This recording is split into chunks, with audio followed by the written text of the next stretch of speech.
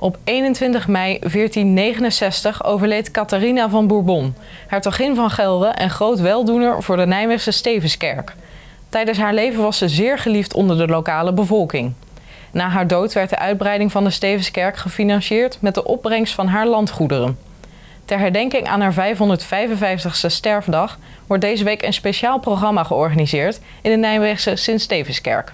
Het speciale programma omvat onder andere een uitgebreide rondleiding langs het grafmonument van hertogin van Gelre, een uitleg over het klokkenluiden door de torenwachter en het luiden van de Catharina-klok door de Nijmeegse klokkenluidersgilden. Het wordt niet echt nadrukkelijk herdacht, maar er worden wel altijd bloemen neergezet bij haar monument boven. Het betreffende monument is ongeveer 50 jaar na haar dood in 1469 neergezet door haar zoon, Karel van Gelre, die uiteindelijk zijn laatste rustplek vond in Arnhem.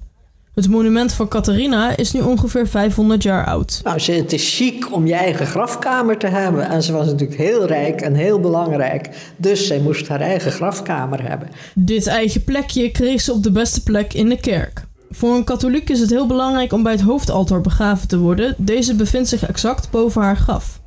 De hertogin van Gelre was niet alleen kapitaalkrachtig, maar ook zeer religieus. Ze wilde de kerk dus een meer status geven, ook door dat geld. Want toen is het een kanunlijke kerk geworden en dat was het voor die tijd niet.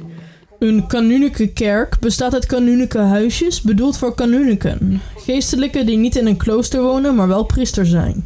Deze mensen hebben de taak om zeven of acht keer per dag in de kerk de dagelijkse gebeden te zingen. In de beschrijvingen, in de rondleidingen die in de kerk gegeven worden, daar wordt veel aandacht aan besteed aan Catharina, aan haar rol, wat ze betekend heeft voor Nijmegen en de Sint-Stevenskerk in het bijzonder. Ter ere van de 555 jaar geleden overleden hertogin is de grootste klok in de kerk door de klokkengieter officieel vernoemd naar Catharina van Bourbon. Een klok is voor een kerk een heel bijzonder instrument. Uh, wat ik vertelde straks bij het luiden van de klok heeft dat een informatiefunctie.